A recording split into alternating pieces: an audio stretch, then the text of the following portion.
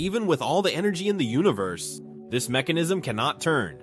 It is composed of 100 gears and designed so that for every 10 turns of the first gear, the second only makes one.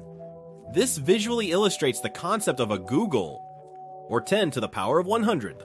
The first gear takes about 3.5 seconds to complete a full turn, while the second takes 35 seconds.